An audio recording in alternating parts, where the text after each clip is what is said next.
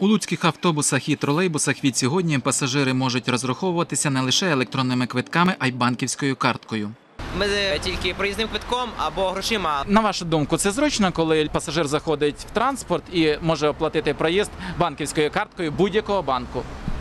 Ну, Я думаю, що це зручно, бо часто буває, коли забув готівку, от, а на карточці не завжди не- знайдуться гроші. Комусь це зручно, хай розраховується банківською карткою.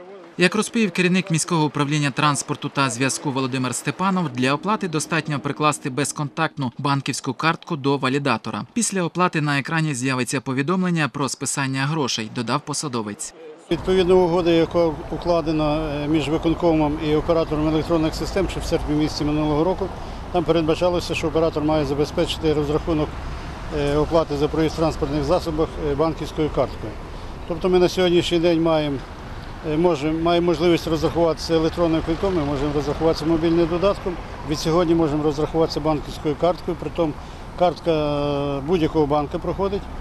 Е, будуть кошти зніматися. Але ж вимога одна, що картка має бути безконтактна, значить е, системою PayPass, тому що якщо магнітна лента, то вона вже не йде. Е, Комісія передбачена значить, е, банком. На сьогоднішній день вона складає 25 копійок. Лучани і гості міста, з якими ми поспілкувалися про це нововведення, не знали. Ні, не знала. Я готівкою розраховуюсь, тому що я живу не в Луцьку, то в мене немає маршрутних цих. А беруть готівку водії Так, да, беруть. У Луцьку теж беруть. в тролейбусах чи маршрутках? В маршрутках, в тролейбусах я знаю, що не беруть готівкою, тільки по карточкам. Я завжди розраховувалась готівкою, мені так зручно, то я так і буду розраховуватись. Перший раз чую, я маю карточку свою. Якою банківською? Той, що ми отримуємо пенсію, наприклад? Ні, не знала. Певно, не дуже зручно. А чому?